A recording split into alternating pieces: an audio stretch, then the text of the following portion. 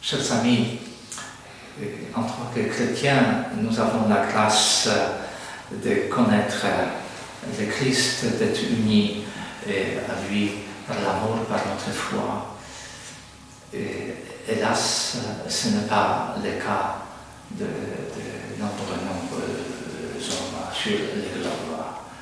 Et même si le message du Christ et son évangile n'importe sur l'amour, la fraternité évangélique avec chaque humain, entre tous les humains, et son message est toujours combattu. On veut l'effacer de, non seulement des, des cartes en, par l'écrit, mais de cœurs humains surtout. Et je fais partie de l'aide à la en détresse d'une association publique universelle, d'une fondation pontificale qui vient au secours justement de tous ceux qui sont menacés dans la découverte du Christ. Sachant que dans les pays soi-disant libres, on dérange aussi nos populations dans la découverte de l'Évangile.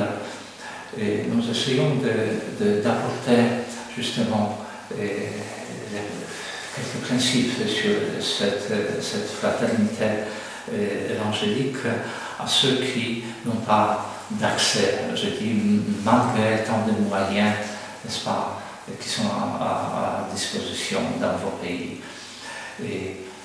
Mais surtout, euh, notre objectif euh, concerne ou vise le pays de la construction sanglante. Dans 70 sur 200 pays, aujourd'hui, les chrétiens sont persécutés de façon sanglante. ce qui se passe par exemple en Syrie actuellement, ce qui se passe actuellement en Irak, ce qui se passe au Nigeria. Ça, ne nous laisse pas indifférents. Et dans cette animation de en détresse que je vis en France, euh, j'essaie d'apporter les nouvelles sur ce peuple qui, dans leur contexte, malgré tant de difficultés, il, il reste fidèle à la promesse du baptême jusqu'au dernier souffle. Je pense par exemple à ce chrétien au Pakistan. Et je pense aussi à ceux qui en Inde, dans la partie d'Orissa par exemple, qui, même si on est brûlé vif, ils ne voulaient pas renoncer à, à la promesse de, leur baptême, à l'attachement au Christ. Et les témoignages que l'arrivée diffuse sur toute la France sont vraiment fascinants.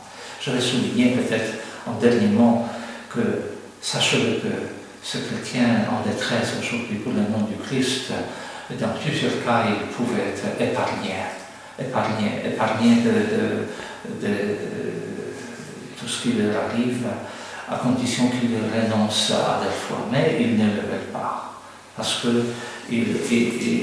ça signifierait pour eux de rejeter euh, Dieu comme la source de la vraie, vraie vie qui va au-delà même de la mort, ce que Jésus a prouvé par sa résurrection.